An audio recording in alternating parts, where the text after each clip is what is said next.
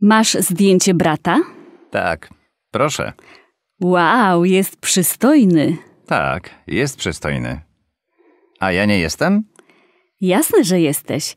Jesteś też mądry, sympatyczny, pracowity, otwarty. No właśnie. Jestem idealny. Chyba chciałbyś być idealny. Na przykład dzisiaj jesteś trochę nudny, zamknięty i smutny. Bo jestem zmęczony. A jak myślisz? Jaki jest mój brat?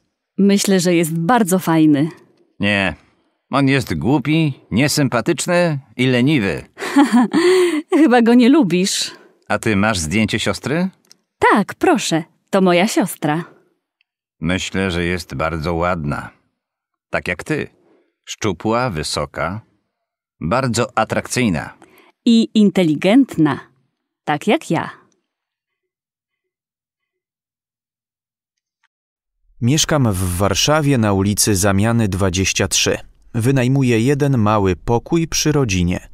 Lubię to mieszkanie, bo wszystko jest blisko. Metro, przystanek autobusowy i tramwajowy, duży sklep i świetna włoska pizzeria, gdzie jest moja ulubiona pizza z serem i oliwkami. Blisko są też basen, klub dla studentów, supermarket i piekarnia, gdzie kupuję smaczny chleb. Niedaleko mieszka moja dziewczyna Iwona. Po lewej stronie od ulicy Zamiany jest akademik dla studentów. Tam mieszka mój dobry kolega, Wojtek. Bardzo blisko akademika jest siłownia, gdzie często ćwiczę, oraz kino i kawiarnia Relax, gdzie kupuję pyszną kawę latte. Po prawej stronie jest mały park i restauracja. Tutaj ja i moi przyjaciele jemy obiad w weekendy.